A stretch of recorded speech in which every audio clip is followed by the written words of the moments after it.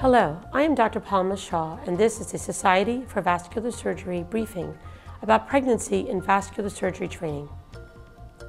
The field of endovascular surgery has changed training of vascular fellows completely.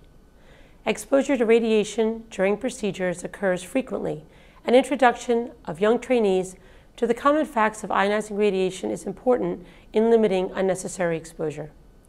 An effort to recruit more talented women to vascular surgery has been made, and now with that come concerns regarding pregnancy during a two or even five year training period. Education regarding the best mechanisms to limit exposure, combined with awareness of the most radiosensitive periods of the pregnancy, can allow women to successfully complete training without compromising their training or becoming a burden on their fellow trainees.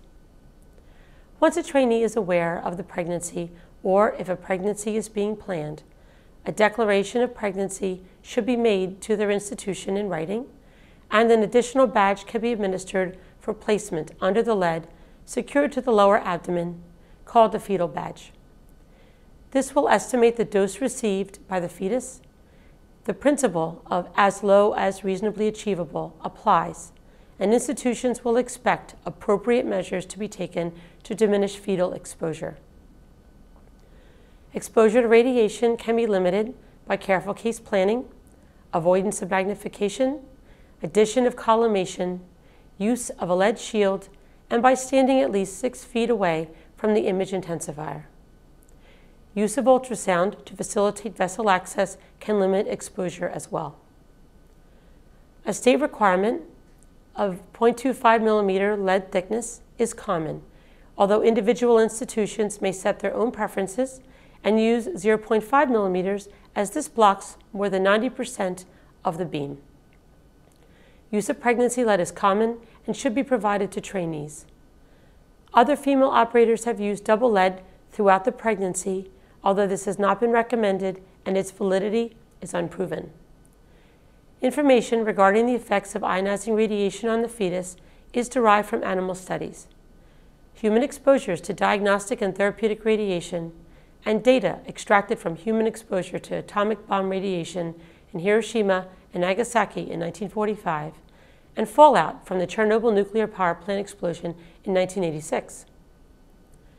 Risks of ionizing radiation during pregnancy are related to the stage of pregnancy and adsorbed dose.